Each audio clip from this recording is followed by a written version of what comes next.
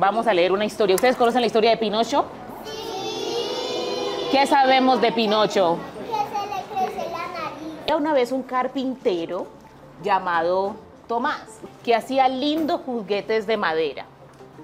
Un día el viejito empezó a hacer un muñeco mientras cantaba alegremente en compañía de su gato Francis, su grillo Pepe y su pececita Chloe. Entonces sonó el reloj marcando las 9 pm. A dormir, dijo Thomas.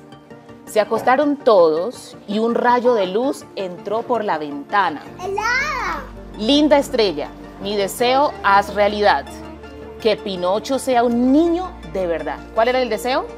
Que Pinocho será de verdad. Y al tocar a Pinocho con su varita mágica, el chico sintió que se convertía en un niño verdadero.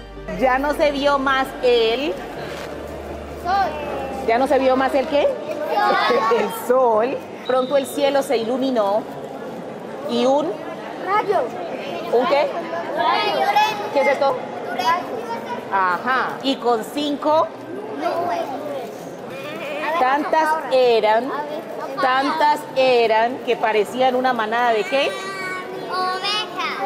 ¿Una manada de qué? Oveja. ¿Y cómo suenan las ovejas? Niños, ¿les gustó el cuento que nos leyó la ministra?